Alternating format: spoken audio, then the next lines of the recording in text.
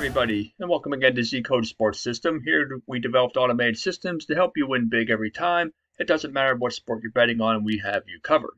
We're going to get into some NHL action for March the 7th, but before we do, I want to invite you to join so you will have access to the VIP Club section that has all the tools that you will need to make your picks. So, as we get closer to the end of the NHL season, every game is getting more and more important for playoff seeding. So, we're going to get started with these games for March the 7th. We have four of them we want to look at. The first one on the list is the Florida Panthers and the Buffalo Sabres. The Panthers come in second in the Eastern Conference, and the Sabres are second from the bottom. The Sabres are dead up. They won their last game and are 1 and 5 over their last six. While the Panthers are average status, they are coming off of a three game losing streak with a 3 0 win over Ottawa. You can see that Florida has been involved in games over the line in five out of the last six, and so has Buffalo. So expect a higher scoring game in this contest as well. In fact, the score prediction has Florida by a 4 to 3 margin with 64% level of confidence. The power ranking indicator shows that Florida is at plus 26. They were up at plus 31, so they've dipped a little bit since then. And Buffalo is all the way down at the bottom at just plus 1. If you take a look at the volatility oscillator, how stable have the two teams been? Consistency is a factor when it comes to betting. So they're both at plus 18, which means they have been pretty consistently performing according to their favorite underdog status. I really don't think that Buffalo has much of a chance here. They are coming off of a win, but Florida is considerably better team. Florida won this game by two goals and look for the game to go over the line. The Kings and the Bruins. The Kings enter fifth in the Western Conference, and the Bruins are seventh in the Eastern Conference. The Bruins are burning hot now, having won five out of their last six and coming off of a three goal win over Vegas. And the Kings are average status, losing their last two after winning their previous four. Expect a higher scoring game as you see the totals here. The Kings have been involved in games over the line in every game out of their last six, while Boston has been involved in games over the line in five out of their last six. If you look at the score prediction, it's 3 to 2 in favor of Boston with 51% level of confidence. It's a little bit lower scoring than I believe the game is going to go. If you look at the power ranking indicator, you see both teams have been up and then down slightly as Boston's at plus 24 and Los Angeles is at plus 21. These teams have been pretty stable. Uh, you look here at Boston at plus 18 and the Kings at plus 10. See both on, on upward climb in that category in general.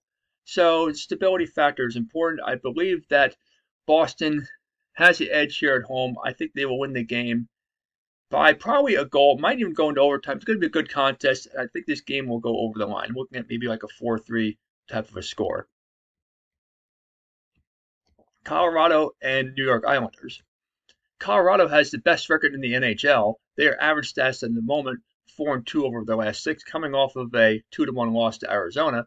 The Islanders are ice cold down. They're just two and four over their last six games, and they're coming off of a four three loss to Vancouver. If you take a look at the over under, again, this is probably going to be a higher scoring game as the teams have been trending in the games over the line in, in both of them, five out of their last six contests. The score prediction is indicating the same type of a thing with Colorado given a 4 to 3 margin of win, but the confidence in prediction is only 38% at the moment. So take a look at that as it gets closer to game time to see if that has changed at all.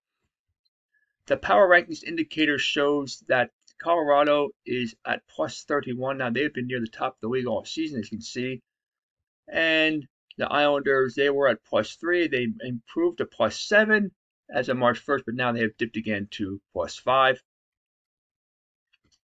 to take a look at the volatility oscillator, notice again that Colorado is near the top here, probably in that category as well. I don't have all the teams' uh, information at my disposal at the moment, but at plus 25, they're likely going to be one of the top teams in stability. And New York's at plus 14. Both teams have been performing consistent according to their favorite underdog status. I don't see the Islanders really having a whole lot of a chance to win this game. I mean, they are playing at home gives them a little bit of an edge, but I really do think that Colorado will win by a couple goals in a high scoring game going over the line. The last game we want to look at is the Edmonton Oilers and the Calgary Flames. The Oilers come in seventh in the Western Conference, while the Flames are second in the conference. Calgary's average status at the moment two and uh, four and two, excuse me, over the last six, and Edmonton is ice cold down. They are just two and four over their last six games.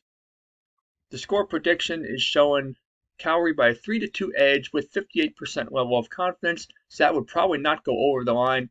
If you look at the over under as far as both teams are concerned over the past six, both teams have been involved in games over the line in four contests out of their last six. So this could be a game that goes over. Uh, the power rankings indicator shows once it comes up. Okay, the power rankings indicator. There we go. Um, Calgary at plus 27, while Edmonton is at plus 19. Both teams are on a little bit of upward trend in that category. So let's take a look at the stability factor as well. Both teams are moderately stable at plus 11 to plus 9, but you can see both are down a little bit. But overall, the in general trend is that both teams have been going uphill in that category, so they've been pretty well performing according to their favorite underdog status. What do I think about the contest here? I really do think this could be the highest scoring game of the day. I just had a feeling about that, and I do like um, the Flames winning this at home, edging the Oilers, maybe by like a 4 3, 5 4 score, perhaps even a game going into overtime. So there you have it. Those are the games for March 7th in the NHL. Happy betting. We will see you again next time.